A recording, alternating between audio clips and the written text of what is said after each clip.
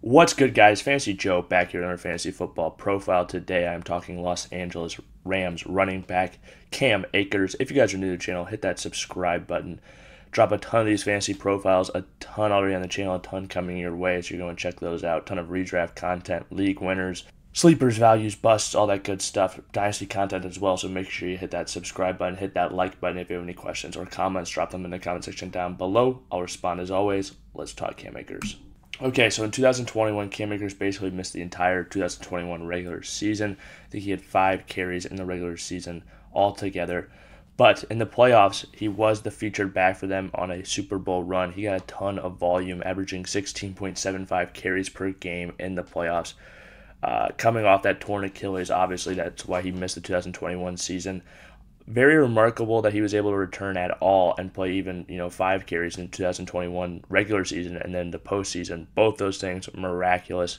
Usually see running backs miss a ton of time, or anyone who has an Achilles tear miss a ton of time, usually a full year. And the fact that he was able to come back and play um, very impressive, very good for his upside, I think, for this season. That's why so many people are excited about him, because he was able to return so quickly. But he was extremely inefficient last season, averaging 2.57 yards per carry in the playoffs. Not very good at all. He did play some really good run defenses, though. You got to point that out. Played San Francisco. Um, also played the Buccaneers in the playoffs. So some tough defenses that he had to go against. Um, but I still think he has crazy upside if he is healthy and the guy in LA. And I do think getting a full offseason under his legs after that, you know, seeing how inefficient he was last year. But again, tough defenses.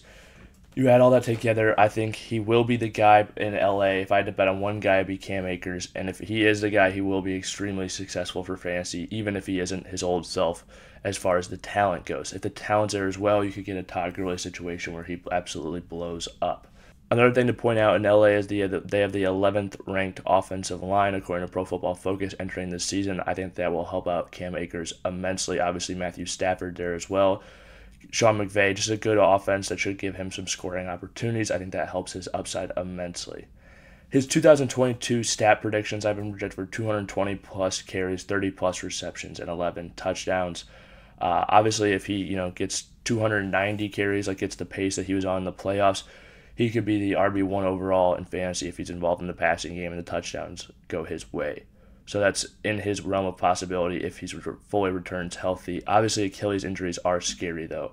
Um, but I think the fact that he returns so quickly and gets a full offseason under his belt, if he's ever going to be an efficient runner again, I think it will be this season. If you guys have made it to this point in the video, please hit that like button, hit that subscribe button. If you have any questions or comments, leave them in the comment section down below. I'll respond as always. This has been Fantasy Joe. Thank you guys for watching.